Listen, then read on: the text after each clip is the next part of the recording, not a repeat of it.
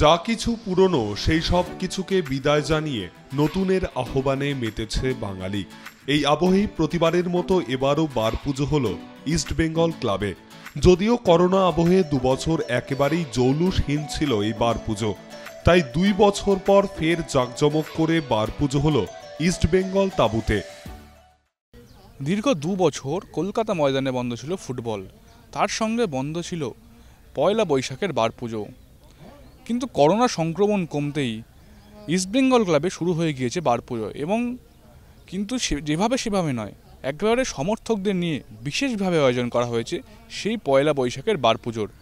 Club কর্তাদের সঙ্গে সঙ্গে সকাল সকাল কিন্তু এই বার পুজো দেখতে উপস্থিত হয়েছেন লাল হলুদ সমর্থকরাও। সকালে নববর্ষের দিন সকালে বার পুজোয় উপস্থিত ছিলেন প্রাক্তন ফুটবলার সঙ্গে আট থেকে আশি বয়সী সমর্থকরাও। এদিন সাতটা পঞ্চাশে শুরু হয় বার পুজো সিঙ্গার জুনিয়র ফুটবলারদের সাক্ষী রেখে এদিন মালা পরিয়ে পুজো সারা হয়। স্পোর্টিং রাইট ফিরে আসার পর লাল হলুদের ভবিষ্যৎ নিয়ে এদিন জানালেন ক্লাবকর্তা দেবব্রত সরকার। না, অনুভূতি তো সবসময় ভালো। যে কোনো পূজা আচ্চা পার্বণ, এগুলো আমাদের হিন্দু ধর্মের সংস্কার কিংবা আমরা প্রথা মেনে চলি।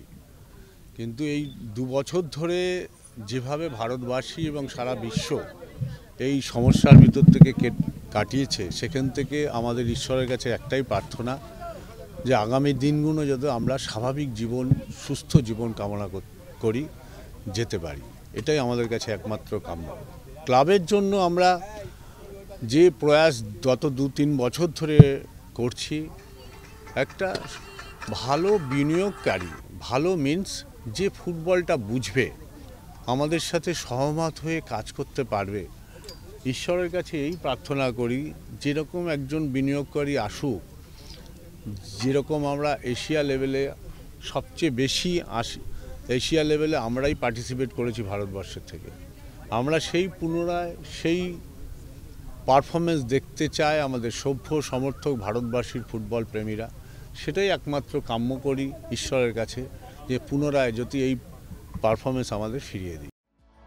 নববর্ষের সকালে নতুনদের পাশাপাশি এদিন উপস্থিত ছিলেন প্রাক্তন ফুটবলাররাও। এই বার পুজো অনুষ্ঠানে হাজির ছিলেন লাল হলুদ সহ সচিব রূপক সাহা।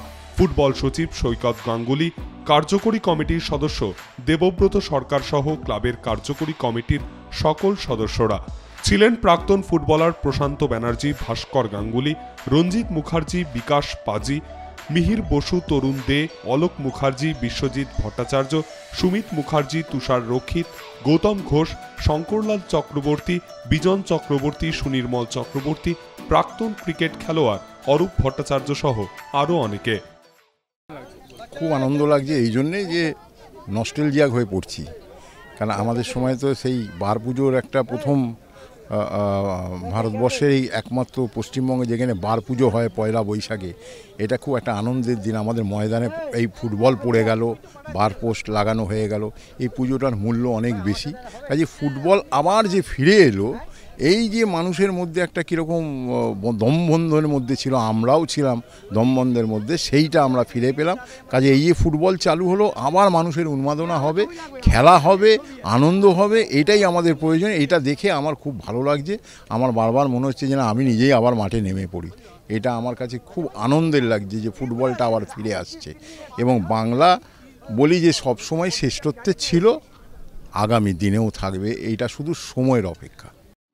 এই দিন থেকেই ময়দানের অন্যান্য ক্লাবেও বার পুজো করে শুরু হয়ে গেল নতুন মরশুমের দল গঠনের পরিকল্পনা। সব মিলে দীর্ঘদিন পর আবারও চেনা ছন্দে পাওয়া গেল কলকাতা ফুটবল ময়দানকে। ক্যামেরায় সুরজিৎ মণ্ডলের সঙ্গে কৌশিক রায়ের রিপোর্ট, আরোহী নিউজ কলকাতা।